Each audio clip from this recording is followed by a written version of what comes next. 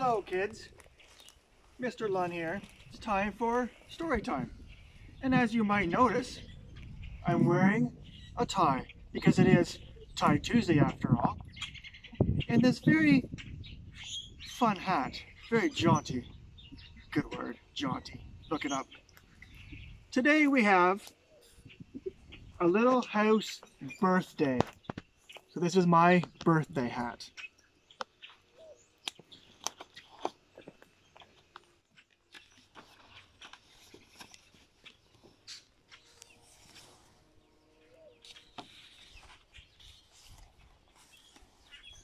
Once upon a time, a little girl named Laura lived in the big woods of Wisconsin in a little house made of logs.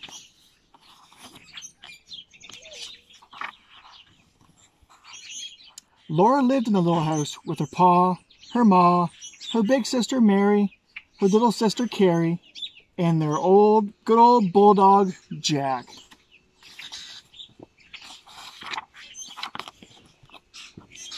The winter season seemed long, and Laura and Mary began to be tired of staying always in the house. Especially on Sundays, the time went so slowly. Every Saturday night, Pa filled the wash tub with fresh snow and put the wash tub on the cook stove. Soon the snow melted to water, and it was time for Laura and Mary to take their baths. Laura took her bath first because she was littler than Mary. Then Mary had her bath, and then Ma had her bath, and then Pa had his.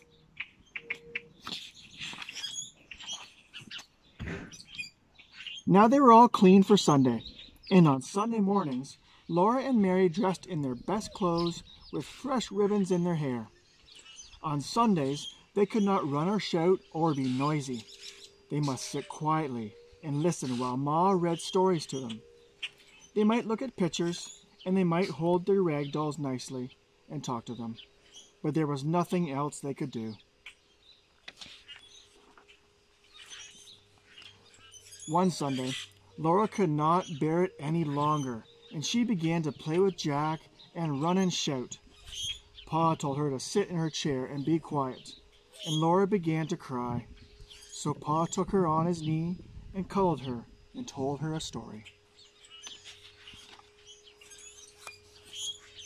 Soon that long Sunday was almost over, and Laura lay in her trundle bed with Mary, listening to Pa sing Sunday hymns with the fiddle. The next sound she heard was Ma by the stove making breakfast. It was Monday, and Sunday would not come again for a whole week.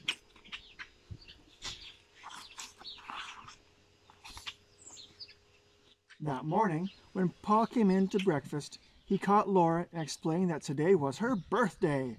Laura was five years old.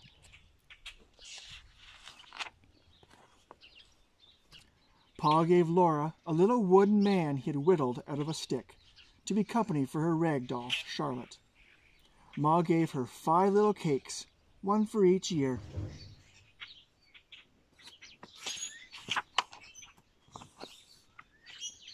Mary gave her a new dress for Charlotte. Mary made the dress herself when Laura thought she was sewing on her patchwork quilt.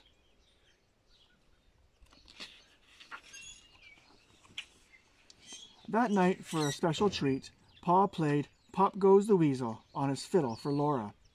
Now watch, he said. Watch and maybe you can see the weasel pop out this time.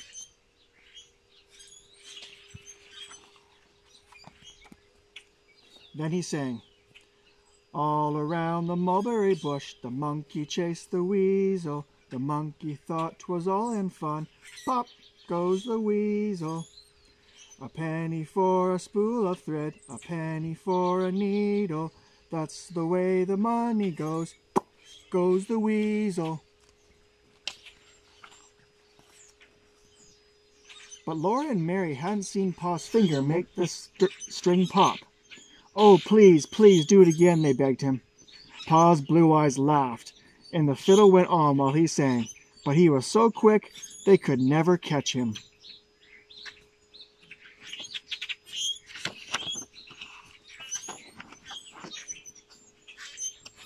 So they went laughing to bed and lay listening to Pa and the fiddle singing.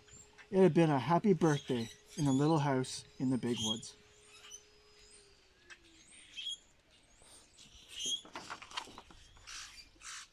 The end. Now, of course, we're gonna have some questions. Let me put this on my tree.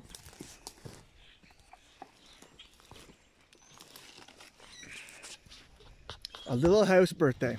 Number one, what was the house made of? Number two, what day did they have their weekly bath? Number three, what is a trundle bed? You might have to use Google for this. Number four, how old was Laura? Number five, what did Mary make for Laura? Number six, what was the name of the song? And number seven, do you think the girls had their own bedroom? Hi. Did you bring me a birthday gift? Yeah. It's not even my birthday. Yeah. Oh, it's for Laura. It's for Laura. Oh, okay. I don't even know who she is. Thanks.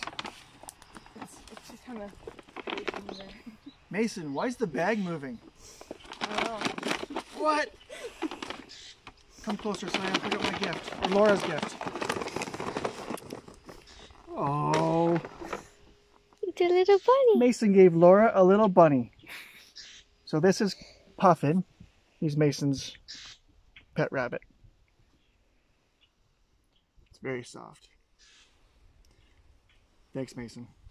On Yeah. behalf of Laura. No animals were harmed during the making of this video.